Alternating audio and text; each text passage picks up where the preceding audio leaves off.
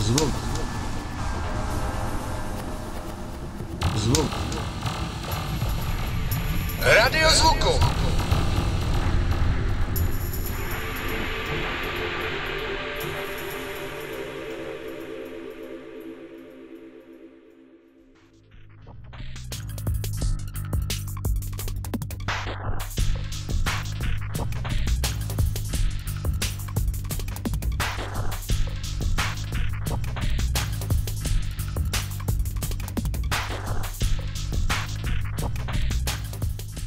Příjemné a dobré odpoledne všem posluchačům Radiozvuku.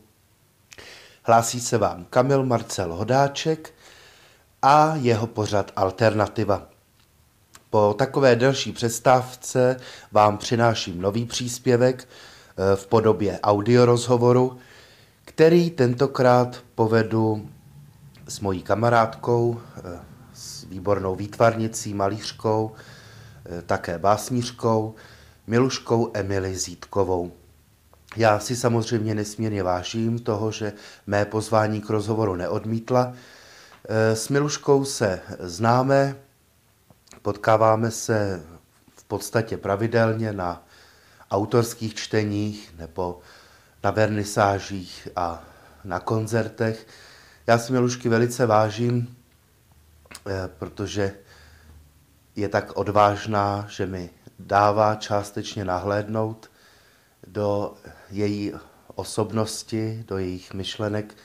Myslím si, že i ten rozhovor, který s Miluškou povedu, bude pro vás, řekněme, objevný nebo minimálně zajímavý.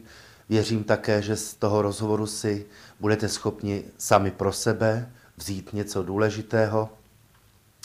Eh, Takže rozhovor s Miluškou Emily Zítkovou může začít. Eh, Jsem velice rád, že ji tady mám a vám všem přeji příjemný poslech z radiozvuku. Tak já tě, Miluško, srdečně vítám pořadu Alternativa. Jsem rád, že si moje pozvání k rozhovoru neodmítla. Když jsem se připravoval na náš rozhovor, tak jsem si naivně myslel, že mi bude stačit ten seznam otázek, který jsem si napsal. Dvakrát jsem si ho přečet, jsem se jako pochválil, viď, že to je, jsou otázky na tělo. A dneska ráno jsem si uvědomil, že na tebe, tak jak jsem tě poznal, žádný seznam neplatí. Takže jsem dneska ráno ten seznam roztrhal, ty otázky už mě najednou přestaly jako zajímat. A uvědomil jsem si, že s tebou musím mluvit tak, jak to cítím. E, žádný šablony na tebe neplatí. Chtěl jsem se zeptat, jestli to cítím správně. Je to obou strany. Obou strany. Výborně. Takže jsem to roztrhal správně. Já jsem se nepřipravovala vůbec. Výborně. O to to bude zajímavější. Hm. Tak já bych začal první otázkou, která tě, mám dojem, že tě asi nepřekvapí nebo tě i bude nudit, ale zeptat se musím, cítím to tak. Mě by zajímalo, jak se k malování dostala. Mě by zajímal ten, ten okamžik, kdy jsi si řekla, že tahle forma vyjadřování je, je ti nejbližší. A jaký lidi byli v tvém okruhu v ten okamžik? Rychlý šípy Foglar. A jsem byla fascinovaná komiksem, který jediný byl dostupný pro mě. Husákovo dítě. Našla jsem o prázdninách na chalupě u mé tety na Moravě. Rychlý šípy, krásně sešitý nádherný vazbě. A já jsem byla okouzlená. Mě knížky do té doby uh, nezajímaly. Bylo mě sedm nebo osm let. Slabikář a věčný čmárání, od malička pastelka v ruce. Když se děti nudí, dejte jim pastelky. Moji rodiče tohle to vlastně víceméně propagovali. Jo. A mm, občas, eh, protože jsme žili ve velké komunitě lidí, rodiny a i kamarádů mých rodičů, tak nás bylo hodně dětí, kteří se často hodně nudili, když pršelo, takže dostali ty, ty pastelky a já vynikala. Cokoliv jsem namalovala, se strašně líbilo a mně se líbil ten pocit, že Mhm. dokážu tímhle způsobem nějakým způsobem, nějakým eh, zvláštním eh, atmosférickým přičiněním. Vždycky ty obrázky zbudily radost, kolikrát vtipy, smích a Mezi těmi lidmi byl člověk, který maloval pro Dikobraz tenkrát Mhm.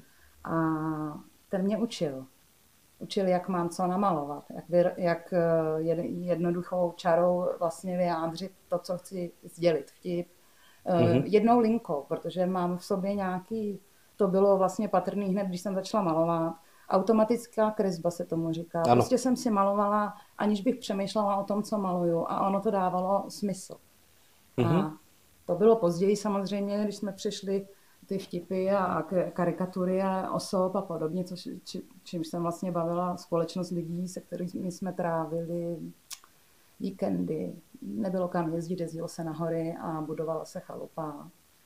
Myslím, že to bylo SSN, tenkrát podnikový ROH, nebo já nevím, prostě mě to nezajímalo, já v tom žila, narodila jsem se do toho. Jo.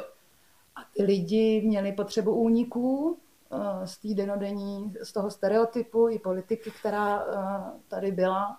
Takže oni unikli tam a tam si žili druhý život. A díky tomu já mám celý život pocit, že taky žiju dva. Mhm. A pomohly mi právě ty kresbičky. To byl začátek. Automatický kresby, protože lidi v tom četli víc, než jsem se já dokázala uvědomit, že by tam mělo být. A to jsem byla velmi malá. Mhm. Eh, do 11 let. Pak eh, přišlo rozhodnutí, přestalo se jezdit s touhle bandou lidí a my jsme byli čím dál častěji jako osamělí děti.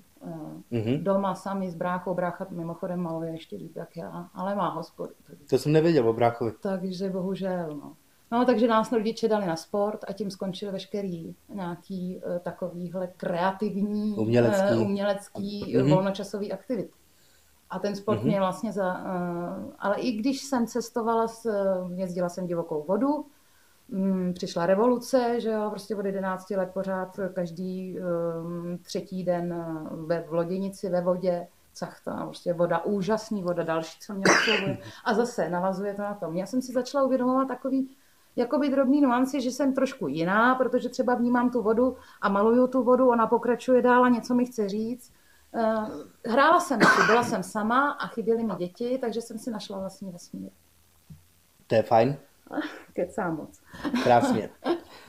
Já bych se chtěl zeptat, myslíš si, že umění v jakýkoliv formě dokáže zachránit život? Nejen zachránit, povznést. Máš osobní zkušenosti? Dala si třeba někomu obraz jako dárek a tím si myslíš, že jsi mu pomohla? Eh, Ano, eh, a překvapilo mě to. I to, I to rozhodnutí tedy, jako bylo to spontánní opět. Všechno, co dělám, je, jak to cítím. K tomu jsem se poměrně těžce dopracovala. A jelikož eh, mi nebylo mm, párkrát v životě zrovna veselo, a našli se lidi, kteří mi pomohli, takže já to vracím podle takového svého vnitřního řádu, jako mm, pošli to dál. Mhm. Takže to posílám dál a stalo se to a mm, hrozně mě to sebralo, protože to bylo tak spontánní Hmm. a ten pocit stělesněného dobra, který v tu chvíli panoval, nakazil hroznou hromadu lidí, do kterých bych to ani neřekla. A prostě jsem to pustila a byla to čistá radost. Mhm. A to je ono. Takže se řídíš i v životě, i v umění e, intuicí? No, především. Dáš na to, co ti tělo sděluje? Jsem blíženec a ten dřív jedná, než přemýšlí. Mhm. Ne, není to o tom, že bych byla lehkomyslná, ale prostě je to tak. Je to něco, co neovlivním. Jde to ze mě. Jo. A nejde to změnit. A když to měním, tak jsem frustrovaná. Mhm. Eh, Cítím, jsou to situace, záleží na jednotlivých situacích. Ale ve své podstatě se snažím, a když to nedělám takhle a snažím se to korigovat a přizpůsobovat se, abych někoho neurazila například, tak to vždycky dopadne blbě. Vždycky Mhm. je z toho hrozná nepříjemnost a la Bridget Jonesová. Jo? Mně se stanou prostě, nemělo to tak být. Ano. Takže um, nevím, kdy mi to začalo docházet, ale ten, je to nějaká pětiletá uh, záležitost, kdy jsem změnila absolutně svůj život. Aha. A od té doby, A v čem ta změna spočívala? Právě v tom rozhodování? uh, ano, v tom Nebo- dokázat uh, se konečně rozhodnout Mhm. A udělat uh, sebe osobně šťastnější, než jak žiju. A zabít se je srabárna, protože nikdy nevíme, co čeká za další zatáčkou. Takže tenkrát to začalo. Nemůže za to žádná víra. Mm-hmm. Na tu pomaličku si přicházím a po svým, nikdo mě do ničeho nenutí, to miluju.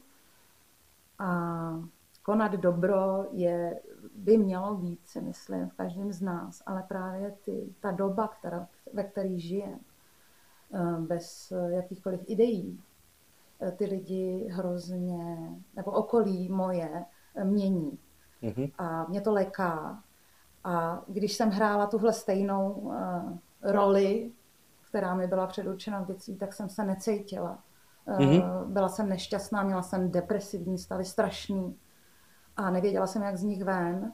A tenkrát se stalo něco hodně zvláštního, protože jsem se prostě probudila, ať jsem už měla být mrtvá.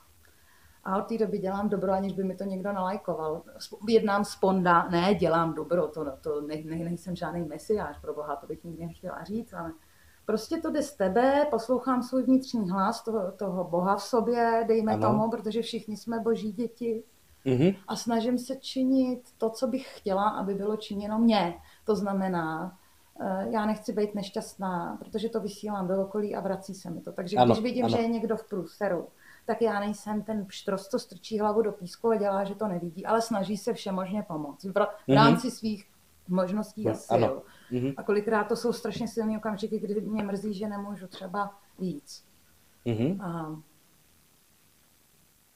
tyhle ty moje akce, že občas daruju obrázek. A to bych chtěla říct, že ten obrázek není pro mě um, poklad nějaký, to je prostě stav, zakonzervovaný pocit. Ano. A maluju, když mám radost. Když jsem v depresi, tak uh, můžu psát básně, proto píšu básně. Ale nemůžu malovat, protože z těch obrázků to prostě je znát. Mm-hmm. A takže většinou daruju obrázky, ke kterým mám velmi citový vztah. Že miluju děti, tak jsou to moje děti. Je to vlastně taky, nemám rodinu, takže se obklopuju těmi obrázky. Hmm, když přijde jejich čas a dostanu se do situace, že bych mohla někomu tímto třeba pomoct, ať jsou to děti v dětských domovech a podobně, mm-hmm. tak mhm. prostě vyberu to svý děťátko a daruju ho. A ono splní ten účel a přinese někomu jinému radost za nějakou finanční částku, která mm-hmm. se mhm. vydražila a ta pomůže. Pomůže koupit postel, pomůže prostě eh, přežít měsíc do další vejplaty. Mm-hmm. A to má smysl. To je jako by to čistý dobro. A ono se to vrací. Což a... ne, ne vždy, samozřejmě, ale důležité je si to uvědomit, že se to prostě, nedělám to jako kupec, má dát ti dá. Já to ano. dělám spontánně. Mluvíme ano. o spontánnosti okamžiku. Mm-hmm. Protože to neplánuju. Prostě to jde ze mě a udělám to. Ano. A pak se musím nějak vyrovnat s následky, s tím všednodenním. To, co ty, těmi fakty, s tou realitou. Um, třeba první, když jsem tohle udělala, jsem měla pocit, jako, že to je jak když hodíš šutr do vody. No, dělají se kruhy, ale ono o to, o to jde, o ty kruhy jde. A, to, a už jsem zase u toho jádru pudla, což se snažím mm-hmm. tohle strašně dlouho jakoby svou litaný sdělit, že, že jádro, jádrem pudla je... Můžu? tak já budu pak říct, co je jádrem pudla? Teď jsem si, a zase už zase myšlenka utíká někam jinam. Jo? Takže jádrem pudla je spontánnost, to, co vysílá tělo, poslouchej sebe. Ne nějak prostě programově, to ti nedá žádný couch, to ti nikdo prostě, žádná sekta, žádný náboženství, to musíš najít ty v sobě, prostě takovej ten, ten toho svého vnitřního boha. Ano. A je to podle fyzikálního zákona akce, reakce. Co vyšleš, se vrátí jednoduchý, prostě stejně jako jednoduchý, že Bůh je láska a láska je Bůh. Bůh vnitřní my je ta láska, jenom z nás může vzejít. A Ježíš, když to pomůže, jo, tak jsem, tak je to tam, kde to mám být a najednou pocit určitýho uzavření splnilo to, co to mělo. Takže těch pocitů je málo, že jo, není to každý den. Ale když se to stane, tak já jenom nehodím ten šutr do té vody, aby, Ono to udělá ty bublinky, možná trochu duhy, když se člověk jako zadívá. Proto fotím. Mm-hmm. A splní to účel, udělá to dobro a nemusí to být nějak slavný nebo tak, prostě jenom pro ten okamžik. Ani o tom nechci víc mluvit, jako by se i za to stydím, ale vzpomenu se na ten pocit a je mi hezky. A to je ono, proto jsem tady. Proto jsem se ráno probudila tenkrát před pěti lety, Mhm. kdy jsem byla takový srab, že jsem chtěla vzdát svůj život. A když je mi hodně zlé, jakože ty situace jsou a život je přináší, tak si vždycky řeknu, co tady fňukáš, už si měla být dávno mrtvá. A nejseš. Dám ti otázku. Udělala bys to znova? Ne, nikdy. Už ne. A ještě jsem se chtěl zeptat, mě zaujalo, jak jsi říkala, že věnuješ třeba eh, svoje obrazy pro děti v dětských domovech. Například. Myslíš si, že v dnešní době má charita smysl? Ježiš, že má. Jsi o tom Akorát- přesvědčena? Ji lidi jak si nevnímají. To si taky myslím. A pro mě to má smysl. Fajn? Takže doufám, že se najde víc šílenců, bláznů a, a, a snílků, Mhm.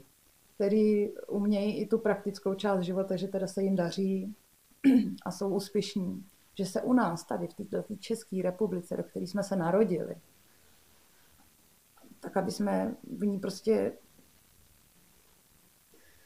aby jsme prostě každý za sebe pro, to, pro tu republiku něco dělali, pro, pro um, prostor, kde žijeme, pro rodinu. Mhm. A jelikož lidi uh, nejsou jenom ty uzavřené celky za těma panelákovými dveřma, že jo?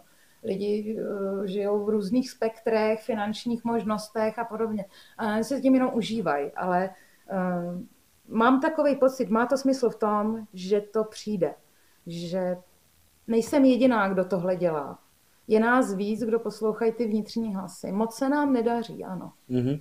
Ehm, Já mezi takový lidi patřím, našla jsem je a jsem strašně ráda, že se tak stalo. Že jdu po jiné cestě, než jsem šla před pěti lety, kdy jsem byla sobecký parchan, který mu prostě vždycky všechno vyšlo. Opravdu. A Mhm. měla jsem peníze, měla jsem možnosti a jezdila jsem po světě, užila jsem si ty peníze, ale bylo to jenom, bylo to sobecký. Jo, takže já je Mhm. teď nemusím mít, mě to nevadí, je to s nima příjemný. Herg, všichni víme, jako máme. Mhm. Můžu potvrdit. Ale když je nemáš, tak můžeš žít nenákladně a uvědomíš si právě to, že takových lidí, co žijou nenákladně a zoufale a na hranicích chudoby je tolik. A třeba jsme uvedli ty děti v dětských domovech, tak tam, tam eh, oni nemají na výběr a ty jim můžeš trošičku aspoň malinko přispět. A kdyby přispívalo víc lidí, tak možná ani ty dětské domovy nejsou tak strašně, jak se nám jeví. Na tohle jsem právě narážel, jestli... Jsem se do toho hrozně zamotala. Já myslím, Lužko, že mluvíš báječně.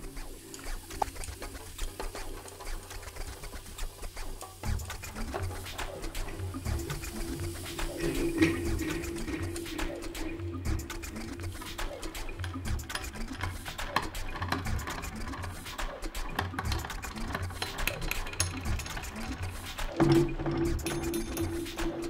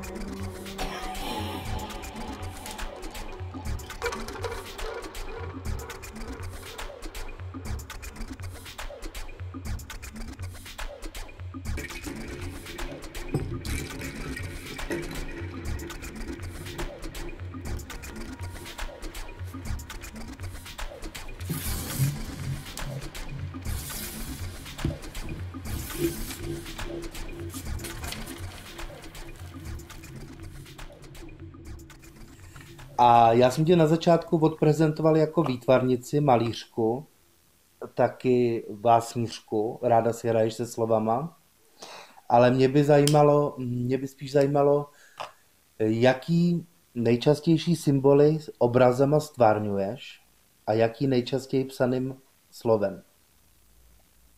Jestli to jsou dva samostatný tábory myšlenkový, Ne, se to všechno nebo jestli je to prolíná. Jo, prolíná, to Mhm. je... Já tím vlastně nic nesleduju, já jsem se nudila Aha, jako dítě a nesnáším eh, stav nudy.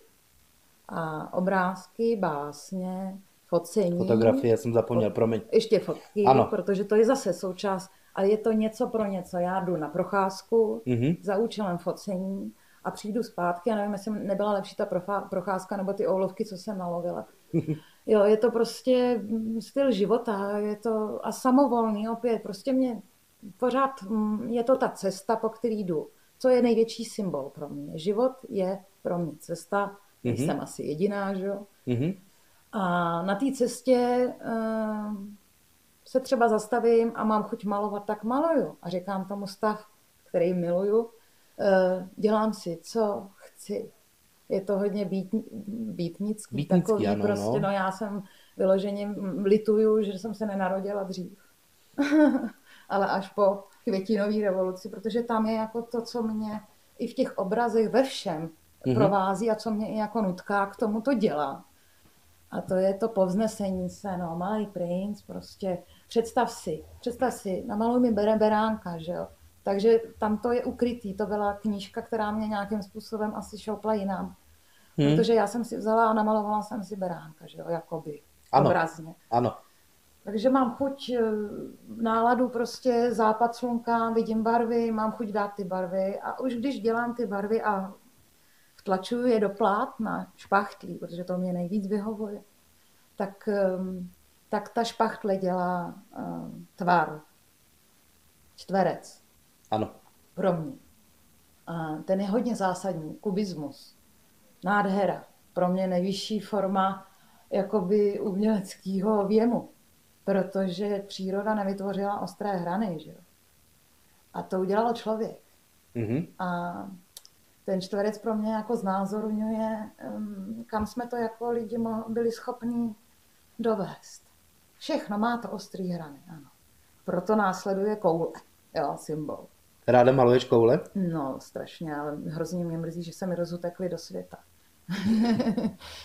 Um, Učím se, že jo, protože nejsem akademik, takže as, je to pro mě ta hra, ten, ten duch toho svobodného člověka, tak si prostě maluju, co chci, ale učím se na tom, protože malování je především o řemeslně zvládnutý technice, dejme tomu, co ti Mhm. nejvíc vyhovuje.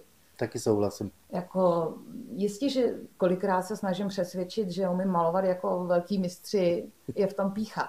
Chci to překonat, chci dočurat dál než oni. Nemám na to. Ale je to zvláštně osobitý, jo, zase. Mm, Jenom se tě zeptám, myslíš, že ve výtvarném umění je pícha na místě?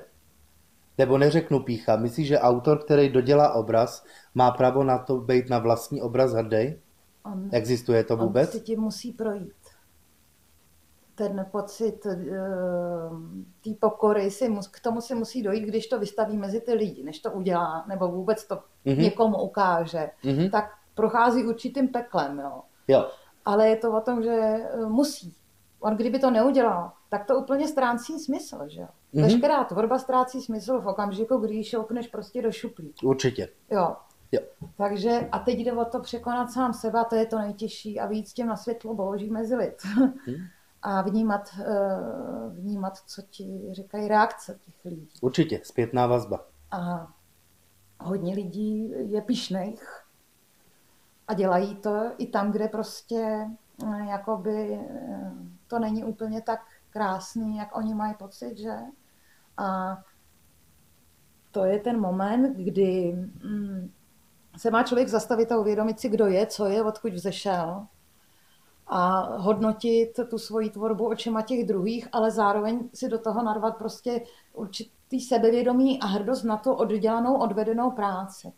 Jo, Mhm. mm-hmm. Takže to je pícha, není to pícha. No. Já nevím, já to tak mám, já nevím, jak to má kdo jiný. Vidím rozpaky, když se někdo chlubí, že svými obrazy a nevěří si, nevěří, protože neumí sám zhodnotit svoje dílo. Jo.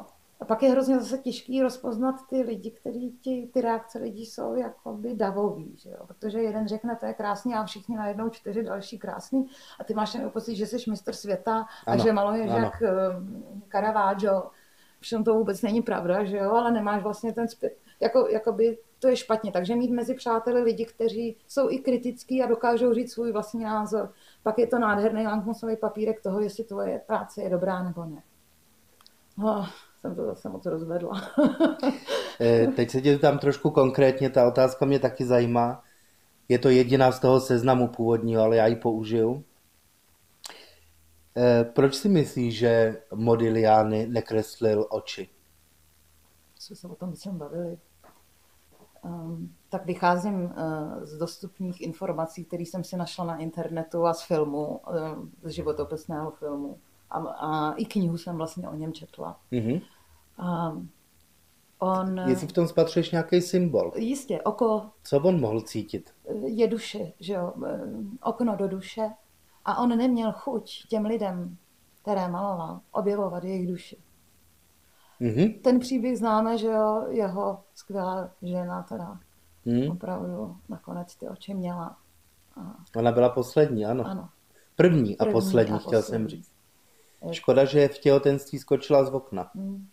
Proto se na tady ten vočkivý jako moment tě ptám, Protože to je něco, co přesahuje úplně toho umělce, že.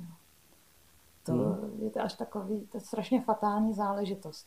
Na zrovna na Modigliani je vidět, jaký to je, když se člověk žije podle vnitřních Děkuji. Teď jsi mi vzala tu otázku, právě jsem chtěl navázat na tu první třetinu eh, rozhovoru, že jsi říkala, že hm, ty se cítíš určitě jako bohem, bohem stopro. jako intuitivní i bohemská osoba. No, jistě.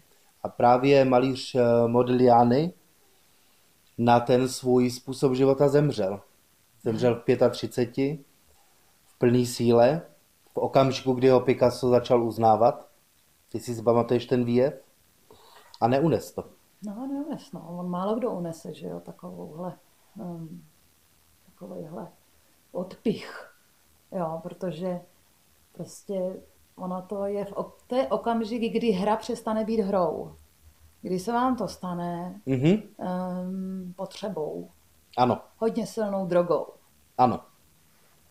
Taky bych to tak připodobnil Nejenom konkrétně něj. uh, výsledný dílo, Ano. nejenom ten proces tvoření, ale potom ta popularita, dejme tomu. Hm? Jo, Rozumím. nějaká, jakákoliv, uznání, jo, ano. v rámci určitých okruhů lidí obdiv. Ano. Je to krásný pocit. Je to moc krásný pocit, který jsem neznala 35 let. A moc, uh, s, i ten Modigliani, s tím se prál. Hm? Jo, a Určitě. neustál to. Chtěl být normální vlastně. On chtěl zapadnout, ale nemohl, protože to z něj prostě šlo Bohem. Když to není- vyženu ad absurdum, Ano. Tak on možná byl v té tehdejší společnosti možná jediný normální. To je pravda. Myslíš, že by to mohlo fungovat takhle? No, Že ta společnost okolo něj byla tak kostnatá? no jistě. Jsou Třeba ve finále byl on ten normální. Ano, on Co se prožitku původní, týče. že jo. Ano. Jako původní člověk, že jo. Ano. Možná to tam je, to už by bylo na nějaký filozofický dlouhavý debaty, ale vychází to z toho, že byl svůj absolutně. Úplně. Tak. Hm? A- Já jsem ti ho chtěl jenom připodobnit, ne, že... Jo, ale krásně to jako nádherný příklad, že jo, jako Ano. tím, ne jako, že já bych se cítila jak Modigliani. Já Ne. chtěla bych, jo. Já jsem ti to právě chtěl No. dát jako příklad, No. protože on je docela, nejenom on teda, že jo, já nevím, Ale napříč, jo. třeba Frida Kahlo a podobně, že? Všechny. Ale jenom jako příklad o tom, o čem jsme mluvili. Oni nebyli jiní, oni byli normální. Že jo. Tak. Právě by se o tom dalo uvažovat i Ano, takhle, no. Ano. Těch pár z těch plejat, jak říkám Ano, já. ano. No, ty pábite. Ano. No a moje další otázka, právě si chci vrátit k té fotografii, kterou jsem úplně hloupě na začátku nezmínil, protože ty seš pro moje oko a pro moje vnímání seš eh, vynikající fotografka. Já se fotkám, vlastně by se dalo říct, od puberty obdivuju, ještě před pubertou. Ty máš zvláštní styl ve všem, myslím. No, hodně osobitej. dejme tomu. Osobitej, no. No, jako to bohužel tam, kde ne, nezvládá technika, protože mám starý foťák. Zašuměný nejsou peníze na nový, prostě nejsou a asi Ano. dlouho nebudou, ale fajn, To byl, tak to fotím. byl vzkaz pro... Ano, ano, fotím Sponzory. s tím, co mám. a protože s tím, co mám a vím, jak by to mělo vypadat, tak se vlastně snažím z té nedokonalé fotky z toho foťáku, který, který jsem se vlastně naučila ovládat naprosto prostě laicky sama, prostě jsem zdědila starého Nikona a jelo to.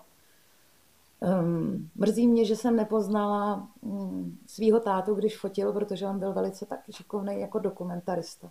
Mhm. Měl to jako koníčka, ale moc jsem ho nepoznala, když si je vyvolával ty fotky, eh, znám ho jenom z té garáže, kde se hrabal v těch autech, jo.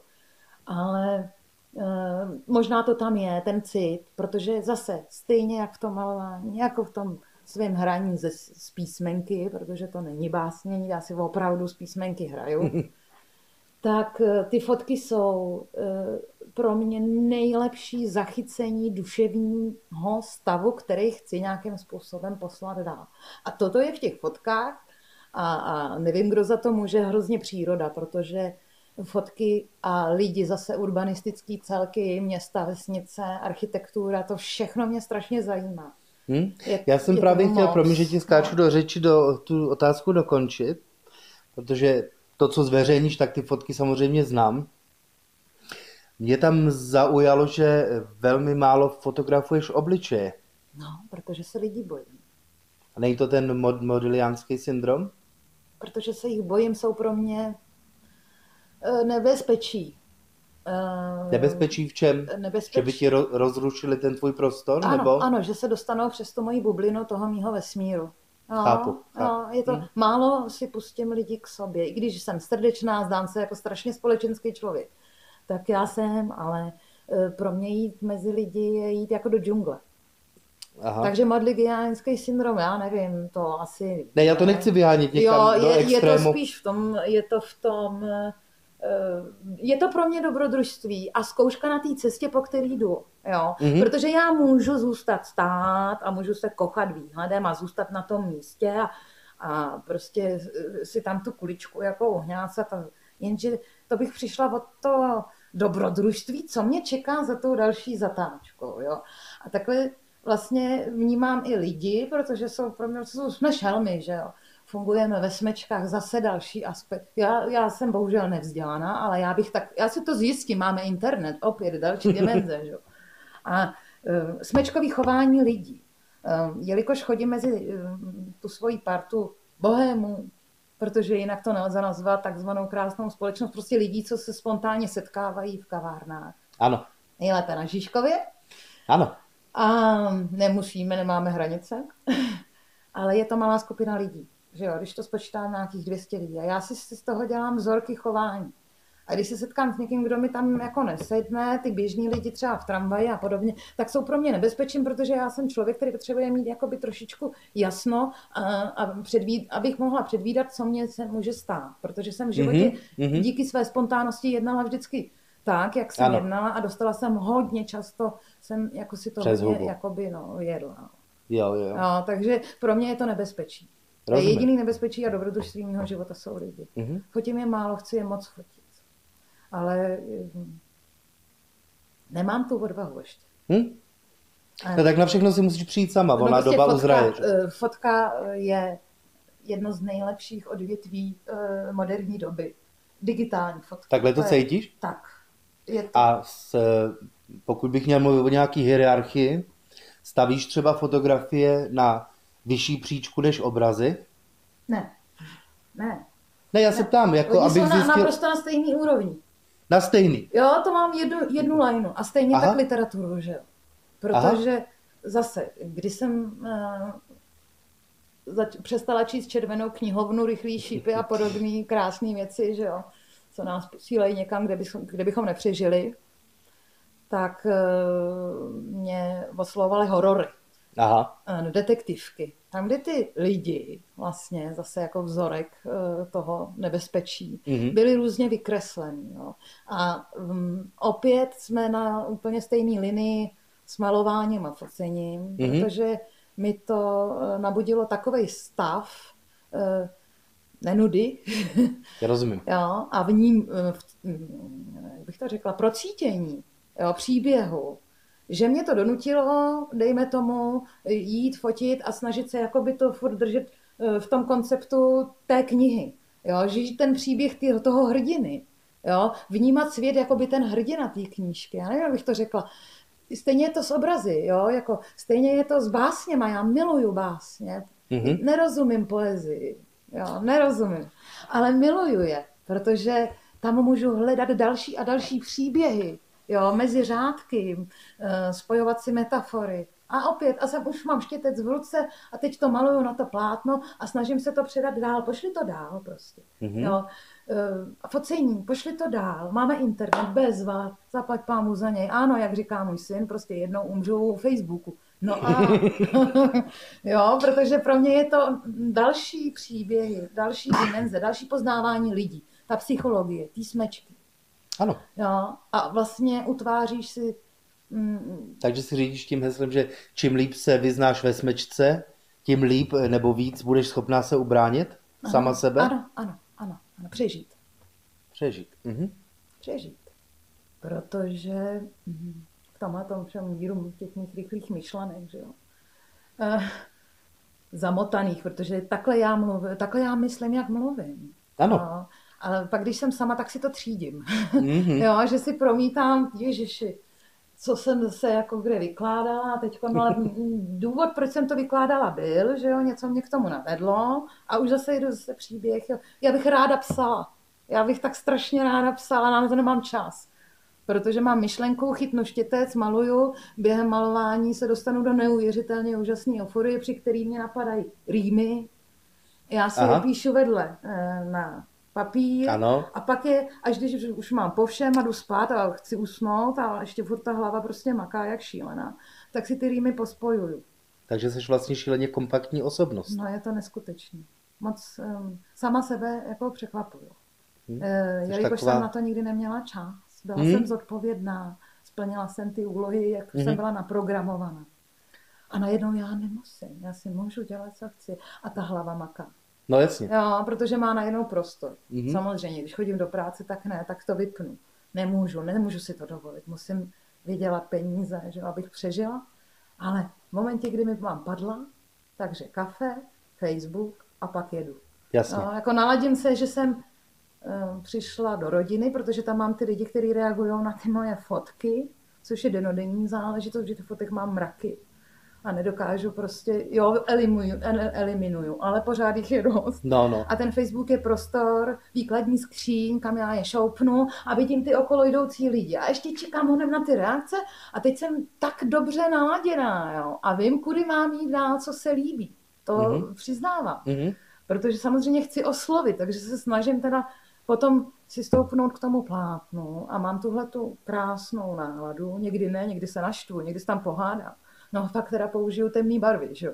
Ano. No, je to, jsou to, je to emotivní prostě, vím, záležitost propojená, mm-hmm. kompaktní, mm-hmm. prostě není to žádný, uh, jen tak nějaká holka se chce bavit, prostě panička si skočí na manikuru a mezi tím si napíše básničku a, jo, jo. a ukáže ji na Facebooku, jo, ještě se s těma nechtama, ale mm, je to můj život a líbí se mi. A dokonce už jsem se dostala tak daleko, že mě rozčiluje, že musím ty, ty povinnosti třeba teď před Vánocem je ty práce strašně moc, jsem v tom tlaku a, a, a rodina a všechno a najednou jakoby zase mi házejí ty okovy a já, berou mi tu svobodu a já jsem z toho hrozně nešťastná, protože jsem si vlastně zvykla na, na tu, že tvořím ve ano. volném čase. Ano, tu bohemskou stránku života ano, právě. Že si na ten volný ano. čas prostě čím dál tím víc nenechávám šáhnout. Mm, a, jo. A, a žiju vlastně absolutně jiný příběh a jakoby ty ta výhybka byla přehozená a jedu. A je to hrozně hezký pocit. Jo, je to, je to nádherný život. No, ještě by ty prachy mohly se tisknout sami, ale jako dobrý. Jo. Já jsem se ještě chtěl vrátit, protože si v průběhu rozhovoru zmínila, že se scházíš v žižkovských kavárnách. Já jsem byl svědkem v kavárně Jiný kafe, tvojí vernisáže. To bylo nádherné. Ta moje otázka zní trochu jinak. Mě tam, mě tam zaujalo, jak ty obrazy máš pestrý. A teď ti to asi říkám teda poprvé, nebo nevím. Našel jsem tam pán mezi lidma, co si těž přišli prohlídnout a říkal mi, že to máš, eh, ty obrazy, které si vystavila, že to je vlastně nesourodá výstava. Že tam našel některé obrazy, právě jak si říká, z, třeba s geometrickými tvarama. Byl tam obraz děvčátka, což plhá po žebříku do nebe. A ptal se mě, nevím proč ne tebe, ale byli jsme tam spolu, tak ptal se, jestli jsi takhle nesourodá i v soukromém životě. Jestli ta výstava byla záměr anebo náhoda. Uměla bys odpovědět? Ta výstava, to jsem v podstatě poprvé pořádně ukázala lidem, jaká jsem. Mhm. Nesourodá. Eh, Je to názor toho pána, ne můj, jenom Je ho to tlumočím. nesouroda. Ehm, Celoživotní hledání rovnováhy se svojí povahou, jakou mám, samozřejmě s evolucí, kterou jsem prošla, eh, nepomohl k tomu, abych byla usměrněný člověk, jdoucí si těžce za nějakým naplánovaným cílem. Mhm. Ehm, Takhle, jsem- takhle tě znám já, no. Jsem blíženec, roztěkaný, pořád v letu, dělám tři věci najednou. Mhm. Ale s věkem, možná právě proto těch 35 jsem pořádně se snažila začít malovat, nejenom tak, jak aby se to líbilo okolí, tak eh, jsem zjistila, že mě to natolik uspokojuje, aby každý obraz byl jiný a originální a odlišný od toho původního, abych nebyla zas tak moc čitelná. Opět jsme u toho Modiglianiho. Já prostě, ano, bych se rozdala, ale ehm, když už, tak to bude hodně barevný a kaleidoskop všech možných nálad prostě, jo. Mhm. Ale nemíním uh, už se nutit tlačit do nějakých rolí. Prostě Tomu rozumím. Eh, Roztříštěnost odpovídá přesně mýmu duševnímu stavu, způsobu žití, až na výjimky samozřejmě. Pakliže ráno musím v sedm být eh, v tiskárně eh, jako kontrolorka, dávat věci do výroby, na který se podílí množství lidí a pak je kontrolovat před odejítím z fabriky, tak nemůžu si dovolit být roztříštěná. Jo, to Tomu je rozumím. ta moje Mhm. druhá já, já jsem čtveraká prostě, já jsem blíženec a ryby dohromady, takže Mhm. mm, blíženci jsou dva, ryby jsou dvě a Ano, ještě jdou proti ano. sobě. No jak mají vypadat moje obrazy? Jo, jako je to... Ale ne, ten pán se spíš podíval na tou koncepcí. Koncepce nebyla žádná, protože to bylo dva roky práce, kdy jsem se na těch obrazech učila. Jasně, tomu rozumím. Jo, a ten Jo. vývoj jsem jakoby ukázala, Ano. že jsem se vyvinula a teď chci jít někudy. Mhm, jo. mhm. Takže to byla kolekce za dva roky života, Ano. končí to rokem koně, začíná rok kozy, koza je cílevědomá a já, si míně, já jsem si dala plán a pokusím se ho držet. Pokusím se opravdu, aby to k něčemu bylo. To jako skončilo období si hraní. Už to šlo někam jinam. Mhm. Jako do té doby jsem si hrála, během té hry jsem zjistila, že je to prostě skutečný. Ale to, co jsi řekla teď, to nezní příliš bohemsky. E, To ani nemůže znít bohemsky. Takže Ne. pořád přísně udržuješ ty dvě polohy? Jistě, já po- potřebuju rovnováhu. Jo, E, Bych jinak ulítala je jak to, balónek. to je to vybalancování, ano, těch dvou No, charakterů. ano. To, jak říkám, prostě dělala jsem ilustraci k básním jednoho úžasného kamaráda, nebudu o Aha. tom mluvit, ještě knížka není no, jakoby vydaná, Ano, ano. ale dělala jsem ilustrace, byla to zase zkušenost první, úžasná, moc mě to baví, jako opravdu Mhm, mhm. vcítění se do textu a následně kresba. A ten autor si tě našel sám? Nebo to byla vzájemná dohoda? Eh, Ten autor mě oslovil sám na základě eh, prací, které Tvojí mám pra- na internetu. Mhm. No. A setkání eh, na básnických čtení, Jo. který člověka zase posouvají jinam, že? A Mhm. setkávají se lidi podobného na Tyrelu a ty básně vyzní líp, když jsou v knížce eh, s eh, ilustrací. Určitě. A ty knížky forma. dostávají úplně jiný rozměr a bylo by fajn, a myslím si, že proto se to asi děje, já nevím, kdo to zaříčil, jo, ani se o tom nechci dál šířit, ale myslím si, že se to děje teď, v poslední době, výhledově tak opravdu ty dva roky z toho svého osobního subjektivního pocitu, kdy ty lidi se dávají, který mají k sobě patřit, tak se k sobě úplně samovolně přidávají. Mhm, mhm. A zase se jako loučí a podobně. A najednou jako, nebo já jsem se dostala takový víru, že to vnímám, že prostě se mění společnost. Já doufám, že mám pravdu a když ne, no tak prostě jsem prd si byla, že jo. Ale každopádně, Doufám, že si myslíš, že se mění k lepšímu. no ano, A v čem to spatřuješ? eh, chybí nám duchovní rozměr. To každopádně. Ano. Už několik let. A jako by nás bylo víc. Mhm. Mm-hmm. Někdo má prostě, někdo je žid, někdo je křesťan, jiný je evangelík, muslimové pro boha jenom to ne, ale dobře, jo. Jsme, jaký jsme, jsme lidi, jsme lidstvo, že? To jako zase a máme kouly. A teď a jdu a maluju kouly a planety, protože z pohledu vesmíru se zdá všechno úplně malicherný. I ten život, i ty bolístky. No a jsme zase u symbolu. Malovala bych. Pardon. Nemůžu malovat, protože se zase potřebuju bavit s těmi lidmi, potřebuju překonávat ty překážky, že jo? potřebuju dobrodružství. Ale eh, pak potřebuji jít do práce, no ale pak zase mám ten úžasný čas, který nechci proflákat u televize. Mhm. A ne, tak jsem u toho plátna nebo s tím foťákem podle prostě počasí nálady. Hlavně žádný násilí. Nechat to plynout. Ještě si v rozhovoru zmínila, že máš syna. No. Pomamil se? Pomamil Jak je, se, jak je na tom s uměleckým cítěním? Zkouší něco? Hmm, pomamil se v tom, že to tam má a baví ho absolutně něco jiného. Tak Aha. to vnímá. Ale chodí kvůli mě na uměleckou školu, ale nejradši by byl jaderným fyzikem. To se trochu vylučuje, no. Hodně. Eh, Nutím ho fotit, což je Aha. špatně. Neměla bych ho nutit fotit. Ono by ho to mělo, má skvělý foťák, lepší než má máma, že jo? Takže předpokládám, že bude, potřebuje to do té školy a, a je tam i kvůli té fotografii. Um, od malička je to dítě počítačového, počítačové rodiny prostě. Jo, jo, jo. Jeho dědeček se sešel s Billem Gatesem, jo? To je prostě kluk, který táta prostě programátor, Mhm, velice mhm. chytrý člověk právě na tuhle tu IT techniku.